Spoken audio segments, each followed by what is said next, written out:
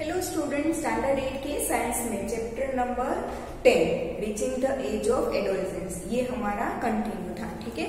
उसमें हमने लास्ट में देखा था कि रोल ऑफ़ हॉर्मोन्स ठीक है? Role of hormones in completing the life history of insects and frogs उसमें हॉर्मोन्स कैसे काम करते हैं वो हमने देखा था, ठीक है? आज हम देखेंगे रिप्रोडक्टिव हेल्थ रिप्रोडक्टिव हेल्थ मतलब कि एडोलसेंस के वक्त हमें खाने में कौन कौन सी चीज़ें ध्यान में रखनी चाहिए, ठीक है? जिसकी वजह से हमारा बॉडी ग्रोथ अच्छा हो सके, ठीक है? तो रिप्रोडक्टिव हेल्थ तो physical and mental well being of an individual is regarded as an individual's health ठीक है? हम मेंटली और फिजिकली कितने फ्रेश है, उसके ऊपर से हमारी हेल्थ डिसाइड होती है कि वो इंसान हेल्थी है या नहीं है, ठीक है? To keep the body healthy every human being at any age needs to have a balanced diet तो हेल्दी रहने के लिए कोई भी एज हो, पर हमारी डाइट ठीक होनी चाहिए। मतलब कि हमें खाना अच्छे से और अच्छा खाना खाना चाहिए। हमें लगता है, बहुत खाने ऐसे होते हैं कि जो हमें टेस्टी लगते हैं, जैसे कि पैकेट्स की वेफर्स वगैरह, कुरकुरे चिप्स वगैरह। टेस्ट टेस्टी तो लगता है बट वो हमारी हेल्थ के लिए अच्छा नहीं है। हाँ खाना चाहिए। मैं ऐसा नहीं बोल रही हूँ कि बिल्कुल मत खाओ। बट एक लिमिट में। आप डेली रोज एक एक ऐसे पैकेट खाओगे किसी ना किसी चीज़ के, या तो टीन के बोतल के, जो वगैरह ड्रिंक कोल्ड ड्रिंक्स वगैरह आता है, रोज ऐसा पियोगे तो वो आपकी हेल्थ के लिए अच्छा नहीं है कभी कभी हो जाए। ऐसा बात नहीं है कि आप कभी भी मत खाओ, उसे टेस्ट भी मत करो, ऐसा नहीं बट रेगुलरली उसका खाने में यूज़ मत करो। कई कई बार हो जाए तो इसमें कुछ गलत नहीं है। ठीक है? बट बहुत ज़्यादा नहीं होना चाहिए। ठीक है? The person must also observe personal hygiene and undertake adequate physical exercise ठीक है? पर्सनल हाइजीन का भी ध्यान रखना है।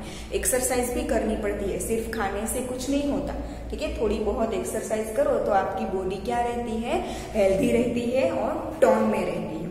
ठीक है? टॉन में मतलब कि ज़्यादा मोटे नहीं हो जाते आप।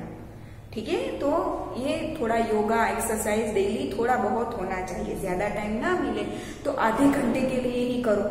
ठीक है? वो आपकी हेल्थ के लिए बहुत अच्छा है। जो आपके ग्रोथ में, अभी आप सबकी एज तो एडोलसेंट्स ही हो आप। आप सब एडोलसेंट्स हो। आपकी बॉडी में ये सारे चेंजेस जो इस चैप्टर में हम पढ़ रहे हैं ना, वो इस वक्त आपकी बॉडी में सारे चेंजेस हो रहे हैं। तो आपके लिए तो ये सब कुछ ध्यान रखना बहुत ज़रूरी है। ठीक है? वरना अगर आप इस समय ध्यान नहीं रखोगे तो जब आपकी एडोलसेंट की एज चली जाएगी, आप एडल्ट बन जाओगे, फिर आपकी बॉडी वीक रह जाएगी। ठीक है? तो इस समय आपको खाने में बहुत ध्यान रखना चाहिए।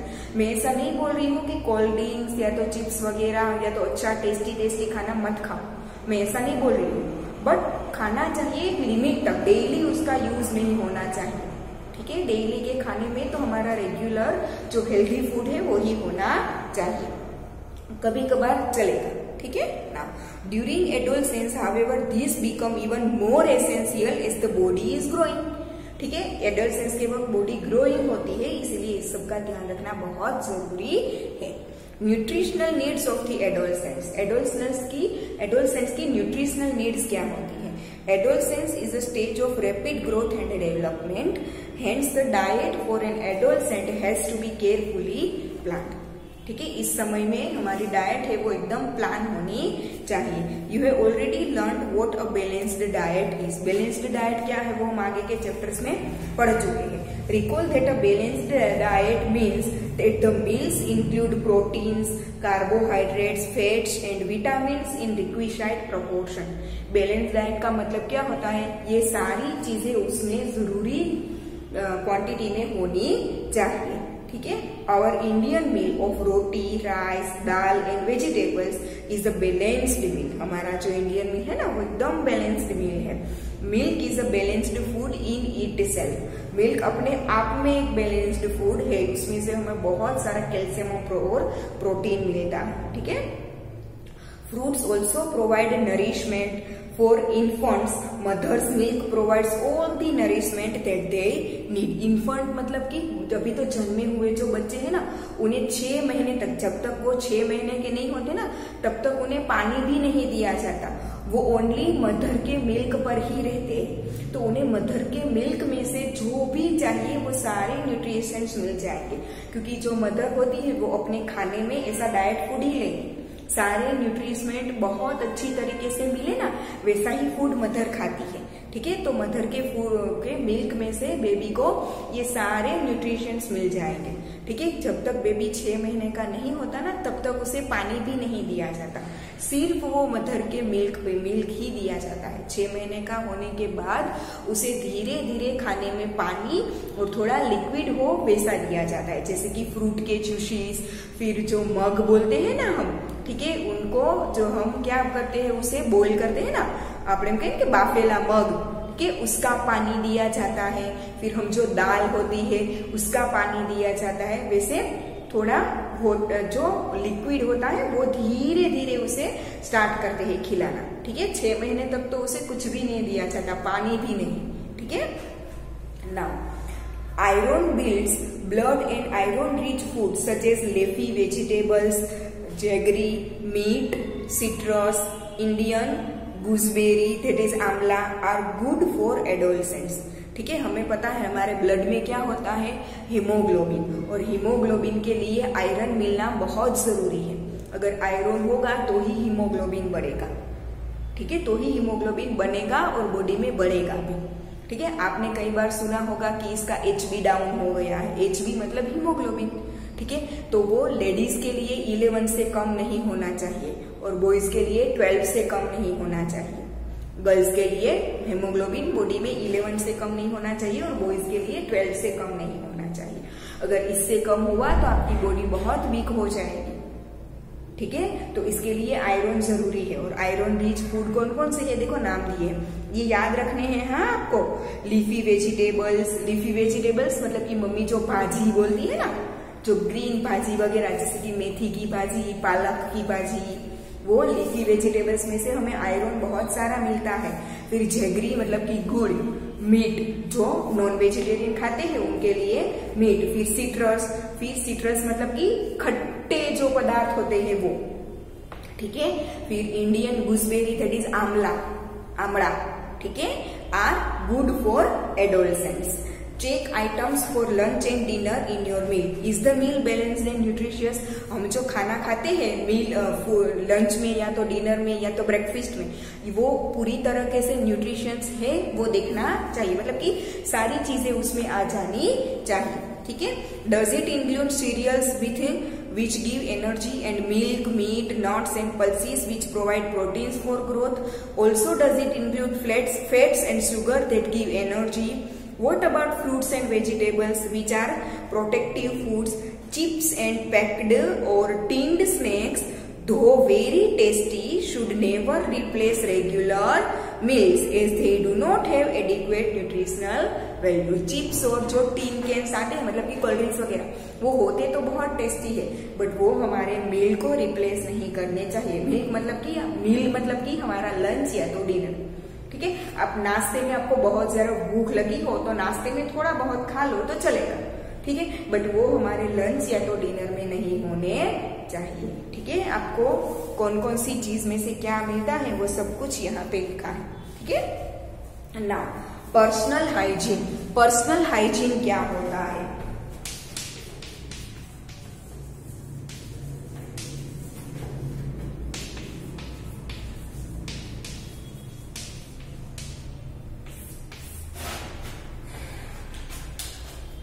Personal hygiene every one should have bath at least once every day personal hygiene मतलब कि हमारी आसपास की चीज़ें हमें क्लीन रखनी है, हमें खुद को क्लीन रखना है। कई बार कई बच्चों को ऐसी आदत होती है कि दो तीन दिन तक नहाते नहीं है तो वो हाइजीनिक नहीं है। क्योंकि हमारा जो पसीना निकलते हैं ना, उसमें बैक्टीरिया होता है। वो बैक्टीरिया की वजह से हम बीमार पड़ सकते हैं। इसीलिए डेली टू डेली नहाना चाहिए। और समर में तो कई बार ऐसा बोलते हैं कि अगर पसीना ज़्यादा हो तो दिन में दो तीन बार नहा लो। ठीक है? क्योंकि उसमें समर में, समर की सीज़न होती है जब हमें पसीना बहुत ज़्यादा होता है और उस पसीने में बैक्टीरिया होते हैं जिससे हम बीमार पड़ सकते हैं, ठीक है? इसीलिए जितना हो सके उतना खुद को क्लीन रखना चाहिए, ठीक है? It is more necessary for teenagers because the increase activity of sweat gland sometimes make the body smelly adolescence को तो ये ध्यान बहुत रखना चाहिए क्योंकि उनकी बॉडी ग्रो होती है और उनकी जो स्वेट ग्लैंड होती है, उनका भी ग्रोथ होता है तो उन्हें पसीना बहुत ज़्यादा आता है। तो उसकी वजह से उनकी बॉडी में से पसीने की स्मेल आती है, इसलिए उनको तो नहाने का बहुत ही ध्यान रखना चाहिए, ठीक है? All parts of the body should be washed and clean every day हमारी बॉडी का हर एक पार्ट रोज नहाने के वक्त अच्छे से हमें साफ़ करना चाहिए, ठीक है? If cleanliness if is not maintained, there are chances of catching bacterial infection. Girls should take special care of cleanliness during the time of menstrual flow. They should keep track of their menstrual cycle and be prepared for the onset of menstruation. Use sanitary napkin or clean homemade pads. Change pads after every 4 to 5 hours as per the requirement. ठीक है? Girls को तो जब menstrual होता है ना तो बहुत ध्यान रखना चाहिए। फोर टू फाइव आवर्स में पेड को चेंज कर देना चाहिए। अगर आप सैनिटरी पेड यूज़ करते हो या तो होममेड पेड मतलब कि अगर आप कपड़ा यूज़ करते हो तो वही कपड़ा बार बार मत यूज़ करो। दो तीन बार यूज़ करने के बाद उसे फेंक दो, ठीक है? और अगर कपड़ा यूज़ करते हो तो उसे अच्छे से वॉश करना चाहिए। नाउ फ़िज़िकल एक्सरसाइज एक्सरसाइजेस क्या मायने रखती है?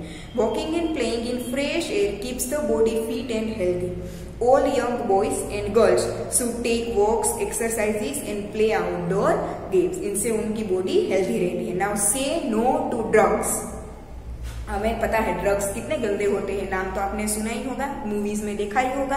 ठीक है? Adolescence is a period of much activity in the body and mind which is a normal part of growing up adolescence के बाद हमारी बॉडी में और माइंड में बहुत सारे चेंजेस आते हैं, जिसकी वजह से हमें ऐसा लगता है कि बॉडी में ये क्या हो रहा है। ठीक है?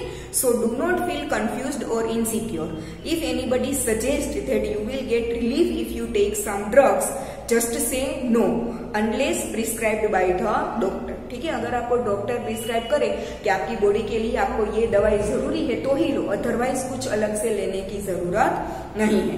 ड्रग्स आर एडिक्टिव आप एक बार लो तो आपको लत लग जाएगी. If you take them once you feel like taking them again and again they harm the body in the long run they ruin health and happiness. You must have heard about AIDS, which is caused by a dangerous virus HIV. This virus can pass on to a normal person from an infected person by sharing the syringes used for injecting drugs.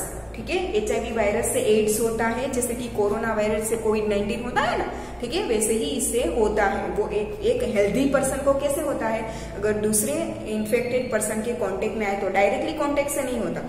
अगर उसे injection लगाया गया है, वो series का अगर use किया जाए तो लगता है। ठीक है? It can also be transmitted to a infant from the infected mother through her milk ठीक है? अगर मदर को अगर ऑलरेडी एड्स है तो उसके बच्चे को भी हो सकता है थ्रू मिल्क ठीक है? The virus can also be transmitted through sexual contact with a person infected with H ठीक है? अगर एच पर्सन इन्फेक्टेड कोई पर्सन हो, ठीक है? तो उनके साथ सेक्शुअल कॉन्टैक्ट से भी ये स्प्रेड हो सकता है, ठीक है? तो ये था हमारा ये चैप्टर आज हमारा ये चैप्टर यहाँ पे खत्म होता है, ठीक है? इसकी एक्सरसाइजेस क्वेश्चन वगैरह मैं आपको नेक्स्ट लेक्चर में लिखवा दूँगी, आज यहाँ तक रखते हैं।